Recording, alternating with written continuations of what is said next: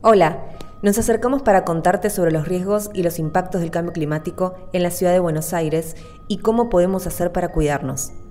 ¿Escuchaste hablar del cambio climático? Se trata de un desequilibrio en el funcionamiento del sistema climático provocado por un aumento de la temperatura promedio del planeta, fenómeno conocido como calentamiento global. Este último es provocado por una mayor emisión de gases de efecto invernadero liberados por actividades humanas como el transporte y la generación de energía. El clima se ve modificado y los eventos climáticos extremos, que solían ocurrir ocasionalmente, empiezan a ser más frecuentes. Veamos algunos ejemplos. En Argentina, el año 2022 fue uno de los 14 años más secos desde 1961.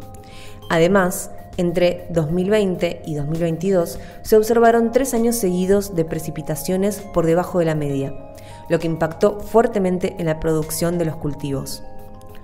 Otro evento de gran impacto vinculado con el cambio climático fue la ola de calor de Argentina de diciembre de 2022.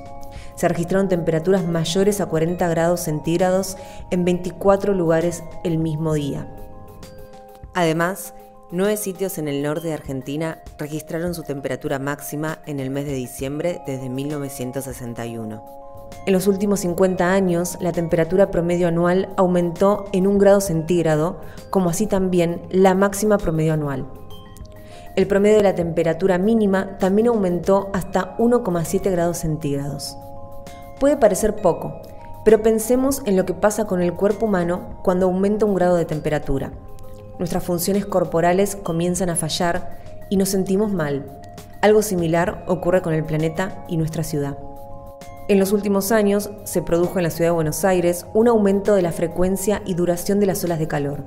¿Qué es una ola de calor? Es cuando la temperatura mínima supera los 22 grados centígrados y la máxima los 32 grados centígrados durante al menos tres días seguidos. Las olas de calor representan un riesgo para la salud, especialmente para personas mayores, habitantes de barrios populares, lactantes, niños embarazadas, debido a que frente a temperaturas extremas, el cuerpo tiene que forzarse para mantener su temperatura interna. Que no refresque durante varios días, y en especial por la noche, impide que descansemos bien y nos recuperemos del calor. Entre 2010 y 2018 hubo más del doble de olas de calor que en la década del 90. Se espera que estos eventos aumenten y sean más prolongados en los próximos años. Uno de los problemas que agravan esta situación es el fenómeno de isla urbana de calor. Las ciudades tienden a ser más cálidas que las áreas suburbanas. ¿Por qué ocurre esto? Las calles pavimentadas, las veredas y la concentración de edificios mantienen retenido el calor durante el día y lo liberan a la noche. Por ello, las olas de calor afectan de forma más intensa a estos sectores. En cambio, los sitios con mucha vegetación se caracterizan por ser más frescos. En la ciudad de Buenos Aires, las lluvias toman protagonismo. Los registros de los últimos 60 años demuestran un aumento de la cantidad anual de precipitaciones. En promedio, la suba fue de 47 milímetros por década, esto significa que actualmente llueve en un año un 16% más que en la década de 1970. Se espera que en los próximos años aumente especialmente los eventos de lluvia intensas, es decir, que llueva mucho en poco tiempo. Cuando esto ocurre, el agua no drena rápidamente y esto puede provocar inundaciones. Por otra parte, al ser Buenos Aires una ciudad costera, cuando llueve de manera intensa, puede sumarse el fenómeno de sudestada, vientos fuertes que soplan del río y que dificultan el desagüe de los ríos y arroyos en el río de la Plata. Esto puede aumentar el nivel del río y provocar inundaciones costeras. Si bien esto parece terrible, a no desesperar. Contamos con un sistema de alerta temprana brindado por el Servicio Meteorológico Nacional que advierte cuándo habrá temperaturas extremas y precipitaciones abundantes.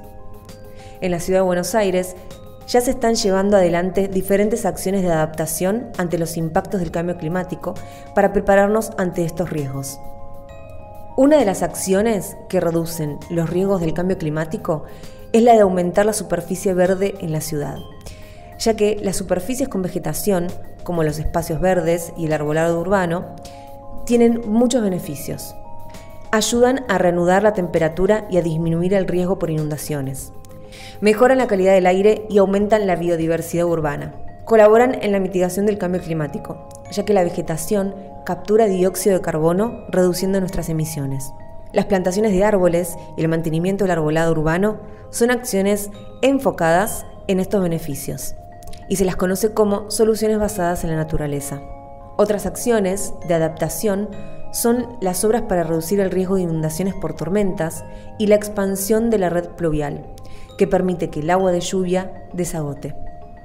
Por otro lado, se trabaja especialmente con grupos vulnerables como los habitantes de barrios populares, personas mayores y niños, ya que son quienes más sufren las consecuencias. Las capacitaciones a vecinos y vecinas son acciones claves para adaptarnos a las consecuencias del cambio climático. Es necesario conocer los riesgos en la ciudad para saber cómo cuidarse y cuidar a otros. Para cuidarte, en días de mucho calor, no olvides tomar mucha agua y permanecer a la sombra y en lugares frescos, como en espacios verdes. ¿Qué otras formas conoces para adaptarnos al cambio climático?